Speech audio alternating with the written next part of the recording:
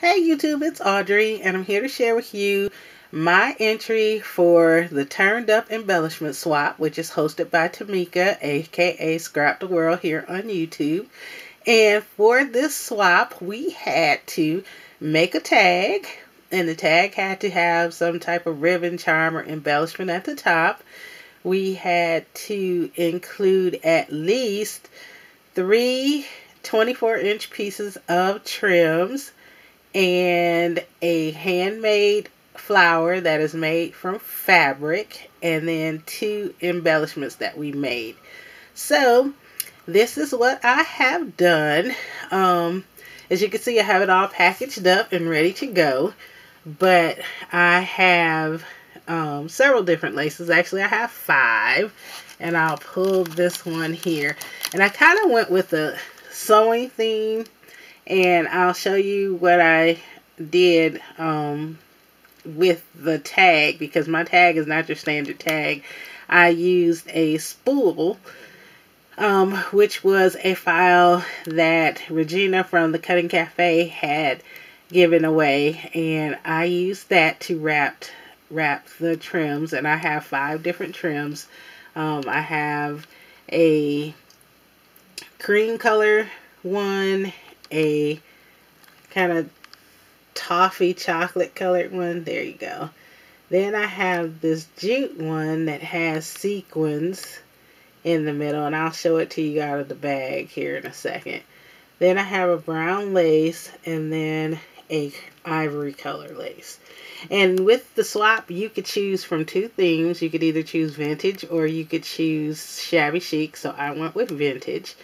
This is my handmade flower, which is made out of a brown color coffee satin. It's a crinkle satin. And then I added a um, gold tonish butterscotch tone bling in the center. I use EK Success Punch to just punch the edges of the topper. And I added a paper rose.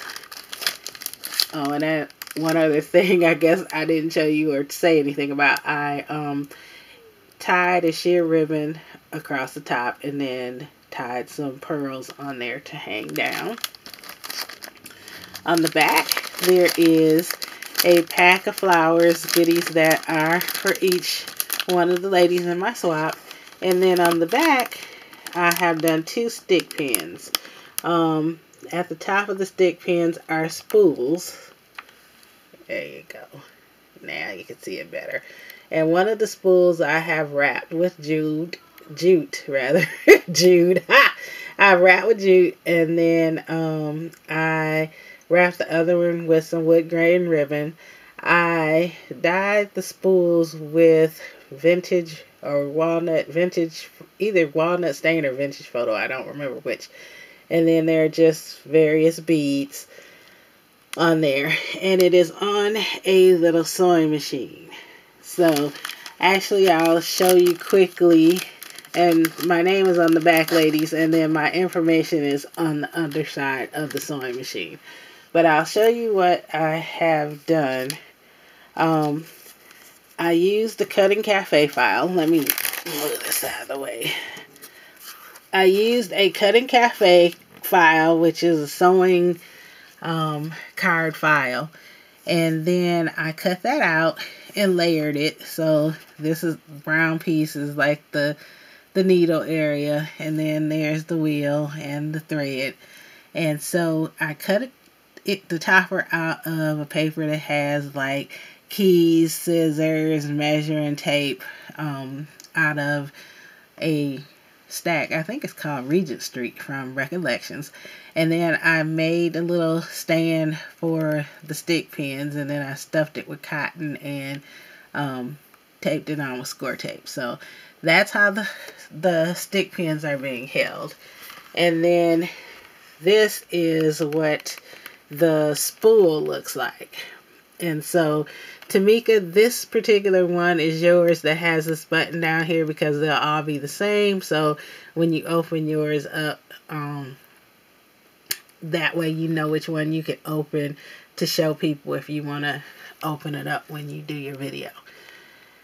Um, anyway, we also had to include a stamped image on the tag. So I used this dress form stamp. A wood stamp that I got from, I believe, Joann's. Either Joann's or Michael's. So I just used the vintage color ink. And the tags, I just picked kind of a vintagey wallpaper tag. And it's the same pattern, but two different colors. So, and then the back of the tag is just plain, but I punched out the holes there to tie the ribbon in there.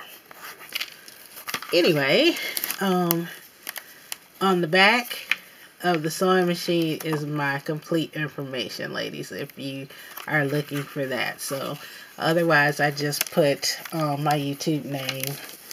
Having trouble here. Just put my YouTube name um, on the bag so that you can identify me that way. And then, just the close-up of the flower outside of the bag. I said it's a vintagey flower. It was pretty quick and easy to do. I watched a tutorial and basically you just cut out about two and a half inch circles, fold it in half. You stitch on the end together that you folded in half and then you just keep doing it around and you get six of them. And then I just made a bigger um, layer and layered them on top and sewed them together.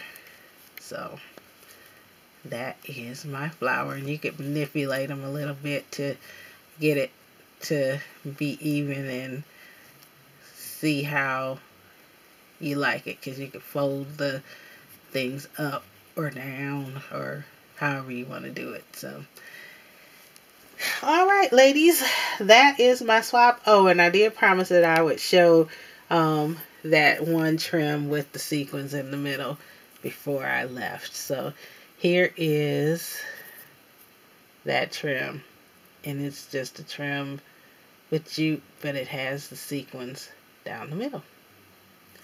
Anyway, ladies, that is my swap. I hope that the other ladies in my group will enjoy them. Tamika, thank you so much for hosting, and um, everybody, thank you for watching. You all have a great and very, very blessed day. Bye bye.